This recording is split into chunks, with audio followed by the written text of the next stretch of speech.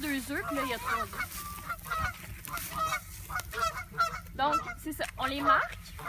On marque le numéro du nid, puis on les marque, euh, on les numérote de 1 à 5 dans ce cas-ci, pour savoir lequel est lequel lors de l'éclosion.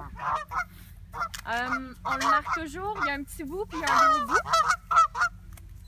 Puis on le marque toujours au gros bout parce que c'est le gros bout, c'est la tête qui est ici.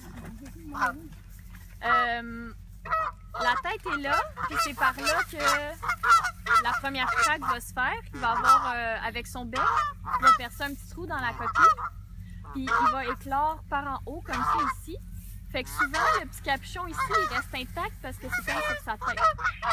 Fait que nous, après ça, quand on revient pour faire l'inventaire du nid, si tout le monde est bien parti, si tout le monde est éclos, après ça, on retrouve les petits numéros plus facilement, puis on est capable d'identifier qui, qui est sorti, puis s'il est arrivé quelque chose aux autres. Là, normalement, on n'a pas besoin de flotter les œufs parce qu'il y a eu des nouveaux œufs. Ça, ça veut dire qu'elle n'avait pas fini de pondre la première fois qu'on est venu.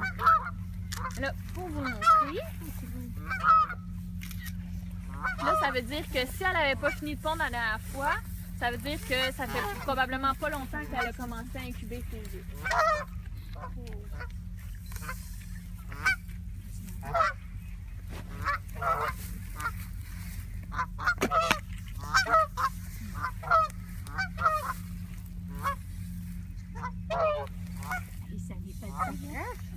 Ah ouais, mais comme vous pouvez voir ici, c'est ça, comme on pensait, vu qu'elle a pondu des nouvelles œufs depuis la dernière fois, ça veut dire que ça fait pas longtemps qu'elle a commencé à incuber. Fait que là, il est au stade qu'on appelle le stade 1. là.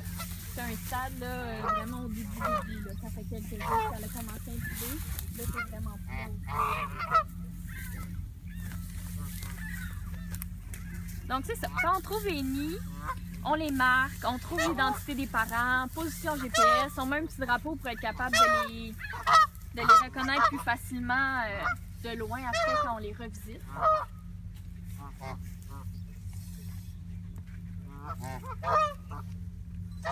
De la case, mais-